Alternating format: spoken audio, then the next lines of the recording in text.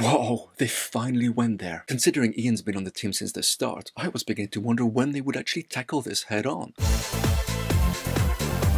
Hey, Commander Fennec here, and this is a difficult subject to handle, especially for what is supposed to be family entertainment. But anyway, is it any different than when the first gay character appeared on a show? Or the first black character? Remember what Martin Luther King said to Nichelle Nichols when she thought of leaving Star Trek? Indeed I do. The main difference I feel is how polarized the world is these days, mostly due to social media I fear, because you're right, it's challenging but it's no different to all those other times. We're just pushing the boundaries a little further one decade at a time. I thought it dealt with it in a very sensitive and emotional way, and with bravery, so full marks for that. Story-wise, the turnaround of some characters happened way too quickly and stretched credibility for me, and the most memorable moment was that cliffhanger ending. That one totally blew me away. I'm awarding Let Them Play 3 paws. Share your thoughts in the comments, live long, and may the force be with you.